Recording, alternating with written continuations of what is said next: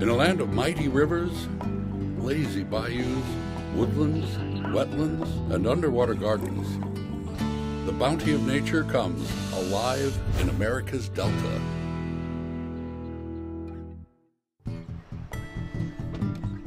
From neighborhood streets to the wild deep, trek along with scientists as they strive to bring the Louisiana black bear back from the brink of extinction. We cannot stand by and watch the obliteration of any species. Follow those on the forefront of the recovery effort. It's like a secret that only the bears knew, you know, for a long time, but now we'll know. Face unexpected challenges. I think I can do it real fast, but I don't worry about me. I don't worry about those cubs getting squished. Amidst unpredictable elements. I'm sure. See how far they've come and how far they'll go to save one of America's most iconic and beloved wild animals. Black Bear Comeback.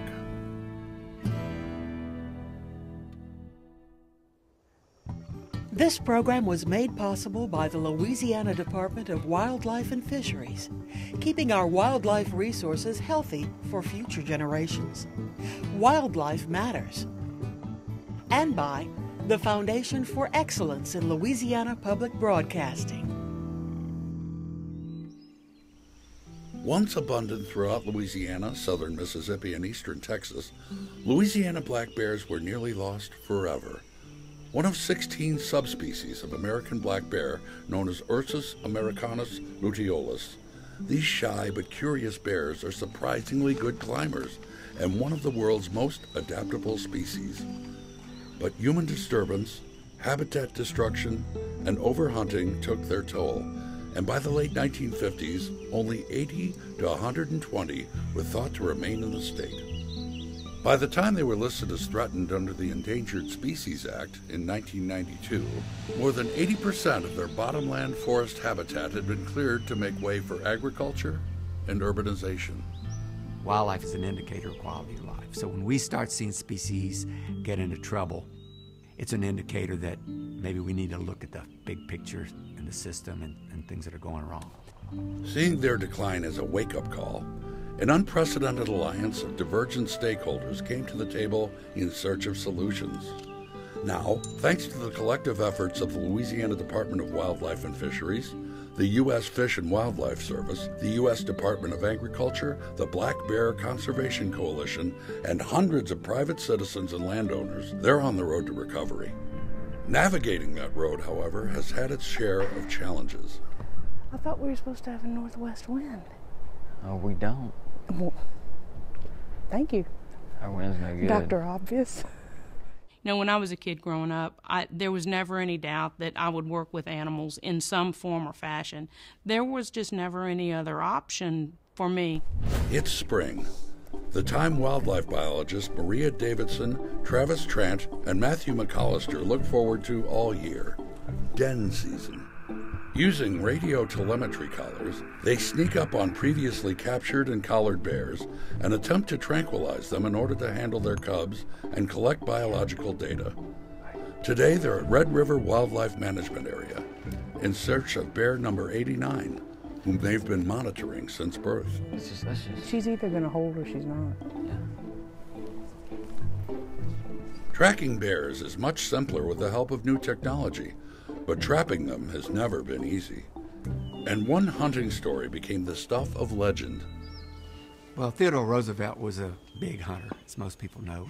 And in 1902, he came down and they hunted hard on horseback with dogs uh, for several days uh, in Tensas and Madison parishes in Louisiana and never could find a bear and ended up crossing the river and hunting uh, north of Vicksburg. Their guide, old black gentleman named Holt Collier, found an old female bear, tied her to a tree, and then they sent word for the president to come so he could shoot the bear. President Roosevelt thought it unsportsmanlike and refused. A political cartoon by Clifford Berryman called Drawing the Line in Mississippi satirized the hunt, which spread like wildfire in the press. Inspired by the story, New York shop owners Morris Michtom and his wife created a stuffed toy bear and requested the president's permission to name it Teddy's Bear. Roosevelt agreed, and the teddy bear was born, becoming a beloved childhood treasure to this day. Much has changed since that fateful hunt. This time honored heritage, along with the hundreds of millions of conservation dollars it generates, fade with each passing year.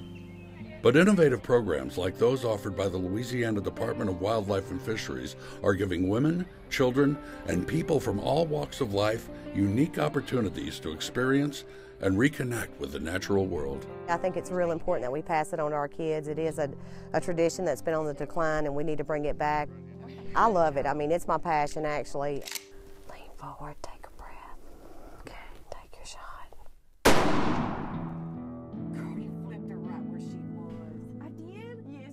Hunter education is very important. Not only does it teach you what you need to know, what the law mandates, and what you need to do, it gives you the tools that you need to be safe in the outdoors.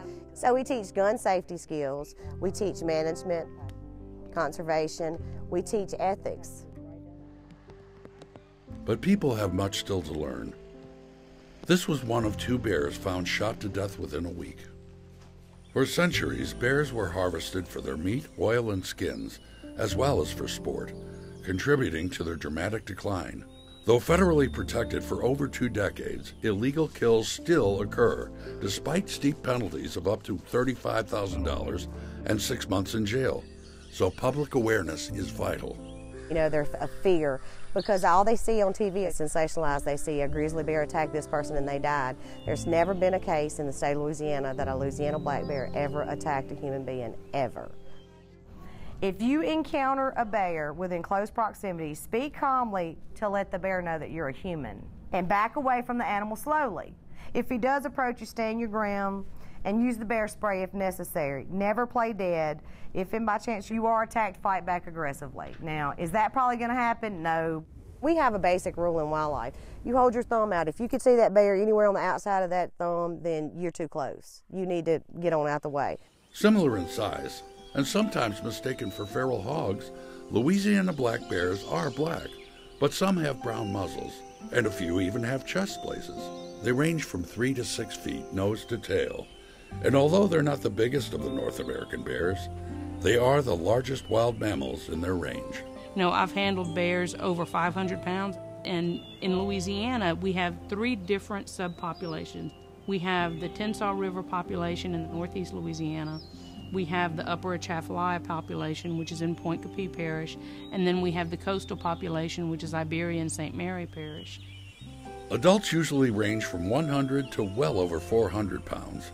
Their diet consists mainly of hard and soft mast, such as acorns, pecans, grasses, and berries, but they also forage for insects, corn, and other crops, and scavenge meat. And when given the opportunity, they make a beeline for trash, and sweets like donuts, for example. Bears are very secretive animals, and University of Tennessee graduate students, like Caitlin O'Connell, often have to bait them in order to conduct their research. This is a bear hair snare trap. The bears walk through the barbed wire and they'll leave a hair sample, and then we come back and uh, collect the hair and we'll rebait it to hopefully catch them again. We work with the U.S. Fish and Wildlife Service on all of this research, and then we contracted our work to the University of Tennessee and USGS because they are the preeminent bear population modeling scientists out there. Though some of the tools of their trade might surprise you, these innovative techniques, along with advanced DNA technologies and telemetry, have revolutionized the way scientists study population and territorial trends. Hair snare sampling enables wildlife geneticists to identify individual bears, and GPS collar studies are providing direction like never before.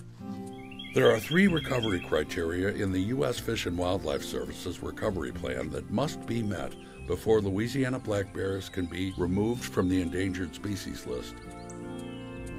First, there have to be at least two viable subpopulations, one in the Tensas River Basin and one in the Atchafalaya River Basin. Second, those two subpopulations must be connected by a corridor. And third, their habitat and the corridor have to be protected by a perpetual conservation easement. We wanted to let these bears explain to us in a way only they can what they believe constitutes a corridor. It's pretty exciting stuff. It's like a secret that only the bears knew, you know, for a long time, but now we'll know. And then we can build a model from that information and place it on a map and say, well, look, here's one, and here's one, and here's one. Like many people, some bears prefer to live along the coast. And there is growing concern among residents, especially in St. Mary and Iberia parishes, where they're getting a little too close for comfort. My name's Catherine Syracuse. I'm the Black Bear Conflict Officer for St. Mary Parish, and I'm riding through my normal neighborhood, my normal route. Um, see any residents out and about, I usually stop, introduce myself, um, ask if they have any issues or problems. This area through here, you can see this is our perfect bear habitat back through here, and with these subdivisions situated around these habitats, that's why we have so many issues. The bears follow those wood lines and go in and out the uh, the subdivisions. It's a ready-made smorgasbord for them. We have humans and animals vying for the same prime property. Human reluctance to adapt and coexist with bears is perhaps the greatest impediment to their recovery. So, helping alleviate people's fears and getting the word out about how to keep bears off their property is crucial. You know, it's difficult for us as humans to decide, I'm not going to put my bird feeder up, or I'm going to do something special with my garbage so the bear can't get it. You know, human garbage has a very high calorie content, which is exactly what the bears are looking for. And when the proximity is such that, that a bear doesn't have to walk very far to get to that food source, you can hardly blame them. That's heavy duty plastic. That's some pretty serious. Look at this. Look at the teeth marks right here. Uh huh. I really don't let him worry me that much, but he's getting real comfortable and he's getting on my porch. And I said, you know what? That's too close to home. he just walks down the cement walkway to, to the gazebo like this. This is his place, you know. As bear populations increase, so do potential conflicts with humans. Bear proof trash cans like these, employed throughout this small coastal town of Patterson, have helped drastically reduce the number of nuisance calls. But due to insufficient habitat and natural food sources, bears continue to frequent neighborhoods like these. When somebody calls and tells us they're having a problem with a bear, we have to do a couple of things. We have to talk to them long enough to figure out exactly what the problem is. There's always an attractant somewhere. Well, it's really my son's fault because I told him to put him in the garage and they didn't Fussy. do it. I said, "Uh-uh, you come pick Uh, it up." That's what I told him. I said, he did it again. Go pick it up. so that attractant needs to be taken away. If it's garbage, they need to store their garbage in a different way. If it's a bird feeder, then they need to take that bird feeder down. If it's pet food on the porch, then they need to bring their pet food inside. There's always a solution to any attractant, and we address that first. If that does not stop the bear from coming, then we will set a trap. Public safety is tantamount, so if a bear gets out of hand, wildlife biologists try to teach them a lesson they'll never forget to make sure they keep their distance. Particularly unruly ones may be hazed with rubber bullets and dogs to instill a deep fear of humans. Hopefully that won't be necessary tonight, but Sophie is ready to help catch a repeat offender who's been causing problems for several area residents. Well, there's a bear here that um, is pretty trap shy, and so we put cameras around to try to pattern his movements between these neighborhoods, and then we're gonna we have little blinds and, and different things that will be sitting either in trucks or in blinds, and then we're gonna try to free dart him. Keep your fingers crossed and hope he's in the right place at the right time. But uh, you know, that's what you do. Trapping a bear requires a lot of reconnaissance, coordination, a little luck, and a ton of patience. Biologist Maria Davidson, Travis Trent, Michael Drury, and Travis Dufour load their dart guns, split up, hunker down at their stakeout locations, and wait, and wait, and wait. Several hours later, Maria gets a call. Well, if it looks like him, then I guess we're going to call it in. Hey, I think our problem child is in the trap. And he seriously wants out. We believe that the bear that we caught in this trap is the bear that we were trying to free dart over on Leo and Kim. and it remains to be seen. We'll wait and see what the calls look like in the next couple of days. He'll be down in the next five or ten minutes, and we'll work him up and put a collar on him, and then transfer him. I am giving him some ear tags. He is going to be forevermore Bear 784. that rhymes. I'm easily impressed at this late at night. This subadult bear is about three to four years old and weighs over 200 pounds. Biologists use tattoos and microchips for identification and affix a radio collar to track his movements. That a subadult male bear tends to be pushed out of all of the best habitat by the adult males. So he's going to have to find a new home range anyway. He would be one of those bears that's going to travel great distances. You know, he can be in danger for crossing roads, things like that. So when we move him to an area that doesn't have a lot of bears, that the densities are very low, we're hoping he'll go ahead and settle down. This lady makes great hot chocolate. Thank you very much. Very nice of you. Oh, Appreciate listen, your generosity. Listen, I'm from New Orleans. I got that Southern hospitality. That's a good thing. A few short hours later, Bear 784 is headed to his new home in Red River Wildlife Management Area. He's not happy. He rocked the truck for the most part all the way up here, so I think he's ready to get out and uh, go somewhere else and not have to deal with us anymore. If he decides to stop and turn back, take a shot into his rear end with that rubber buckshot. Anything could happen. And biologists and technicians are armed with non lethal rubber bullets and bear spray, just in case. All right, we ready? All right, man. Come on, Bear. Go. Go. Get out of there. Get out of there. Come on, let's go. Get. Go. Get. Get. Get. Go. Got you a new home. Go, Bear. Wildlife management areas like this one provide much needed refuge for countless species. But over 80% of Louisiana is privately owned.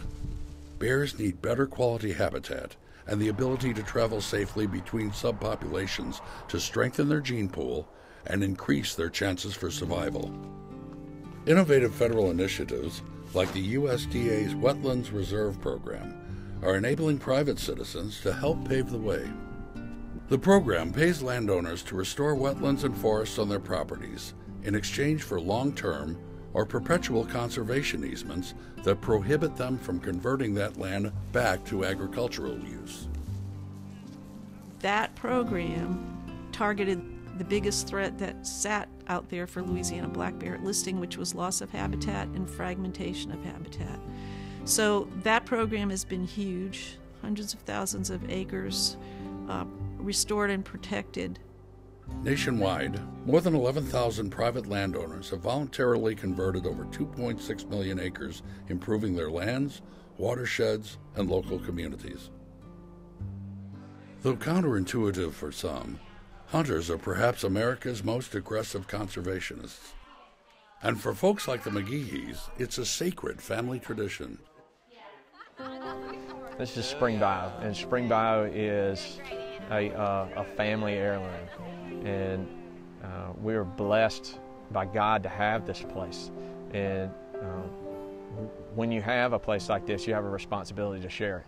There are things that you see at Spring Bayou that you don't see in other places. Near the Tensas National Wildlife Refuge in Madison Parish, Spring Bayou is roughly two square miles of forests, wetlands, and agriculture. We've owned this property since before I was born, uh, about 50, a little over 50 years. It was just a cornucopia of wildlife in Louisiana. It's basically the sportsman's paradise was here. Uh, growing up here as a child, there were hundreds and hundreds of deer. Through the years, we've seen a tremendous downward turn of the deer population and much of the wildlife in general. Bears, however, are making a comeback. Well, it was probably about 12 years ago where uh, it was exciting to see a bear. That was uh, a novelty, a very rare event that we would see, and more and more we start seeing bears. uh, if you're a deer hunter, a, a, a bear and a deer are not going to interact. And that is a little disappointing for us. It's a lot of fun to see them, don't get me wrong, but whenever you see a bear, you're not going to see a deer. Although they don't like to mingle, bear and deer have similar habitat requirements and often coexist. So the McGee's have called in the Louisiana Department of Wildlife and Fisheries Deer Management Assistance Program to assess the health of the deer population and try to reverse this troubling trend. Much to their wives' chagrin, they're spending this Valentine's Day doing an infrared deer survey.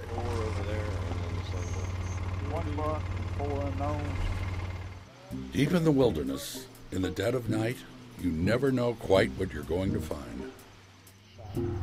Water got a little too deep, turning around. First time tonight. Probably won't be the last. Managing wildlife populations is tricky. It's a delicate balance, often complicated by losses due to disease, predation, and Mother Nature herself.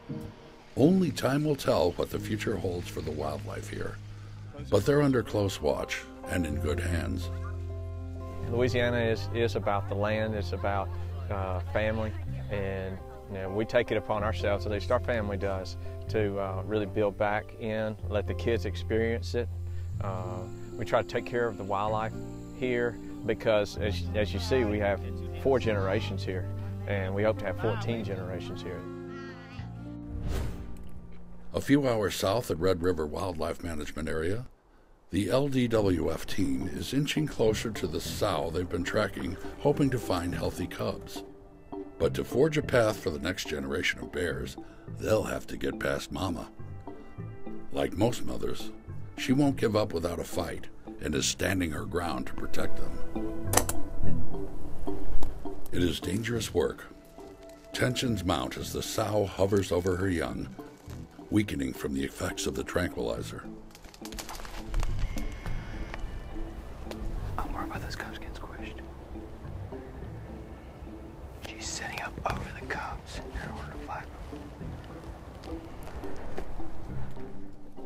Handling wild animals is not without its share of risk and may even seem cruel to some, but it is essential for their survival.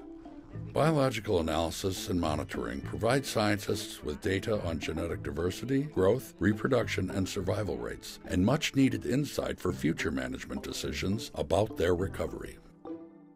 We moved these bears to this part of the state in order to create a genetic bridge between Tensas and Pointe Coupee.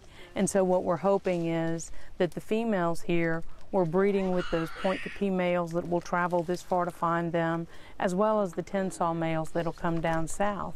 Bears mate in the summer months and give birth to less than a handful of cubs in the winter, usually two or three. Weighing just 8 to 12 ounces at birth, cubs stay close to their mother throughout the first year. Their second spring, the males are edged out to find a home of their own, while the females set up camp near their mothers. Back in 2006, I did a den visit here, and I handled this bear as a three pound cub, just as a little tiny baby. And then to get to handle her again with her own cubs is really pretty special. You know, as, as biologists, we manage a population of animals instead of individuals. But when you get in a situation like this, it's hard not to individualize them. It's pretty special. Well, you know, the hard side is actually for me is the computer work. There's hours and hours and hours in front of my computer doing analysis, doing the paperwork behind all of this. The field work is the best, but some of the field work can be really challenging. And there's lots of days where that are difficult to get through. Days like today, when all rehabilitation attempts have failed, public safety is at risk, and there are no other options. This is bear number 854. We had to track him down today using his radio collar and kill him. We went in with three people with shotguns with slugs and tracked him down and killed him in his daybed. And we had to do that because this bear was completely human habituated and food conditioned. Changing habits is tough for humans, and bears are no different. They're going to go to the easy meal. It's what they do. It's in their best interest. They don't know that it's going to lead to their demise. They just know that they want to fill their belly. It's important that people go that extra step you know, go that extra mile. For us to, as humans, decide, well, bears are supposed to be here, but it's a little inconvenient, so we're not going to have them, would be a horrible statement about our species. I just can't imagine people doing that. We can live with bears. There's no doubt in my mind that we can live with bears, but we need everybody's help to do it. We need to work together collectively, not only state agency and the federal agency, but everybody on the landscape. We can uh, affect change for fish and wildlife and, and for future generations. We can make a difference. The fact that we have them here and we brought them back from the brink of extinction, to bring them back to viability, I think is something that a lot of people here are and, and should be very proud of. And though there is still a long road ahead, this isn't the end of their story. It's just the beginning.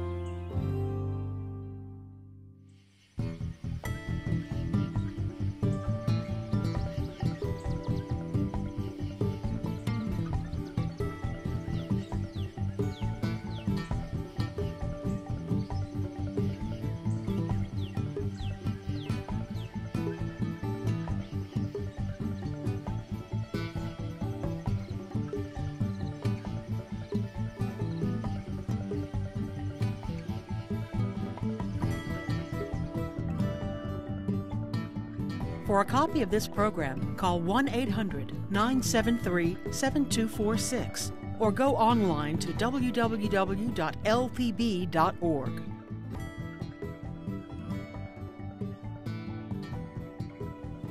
This program was made possible by the Louisiana Department of Wildlife and Fisheries, keeping our wildlife resources healthy for future generations.